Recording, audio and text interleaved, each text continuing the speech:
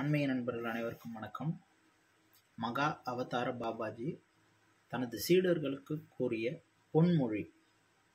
அதை பற்றி தான் நம்ம இந்த வீடியோவில் பார்க்க போகிறோம் மகா அவதார பாபாஜி தன்னுடைய சீடர்களுக்கு கூறிய பொன்மொழி காலம் கடந்து கொண்டிருக்கிறது.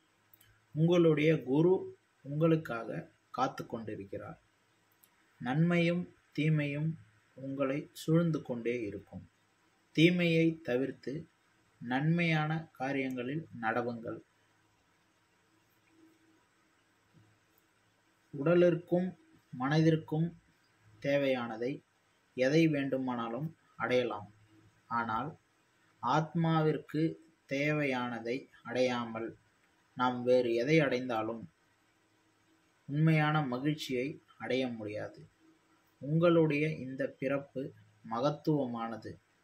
உங்களது கர்மாக்களை குறைத்து கொண்டு நல்ல செயல்களில் ஈடுபடுங்கள். அப்படின்னா என்ன அர்த்தம்னு கேட்டால் உண்மையும் தீமையும் நம்மளை சுற்றி வந்துக்கிட்டே இருக்கும்.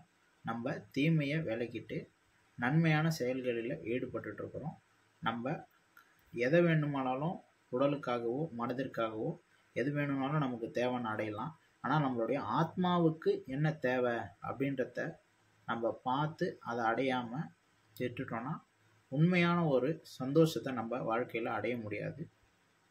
ஸோ கூடுமான வரைக்கும் நம்ம தீமை செயல்களில் ஈடுபடாமல் இருக்கணும்.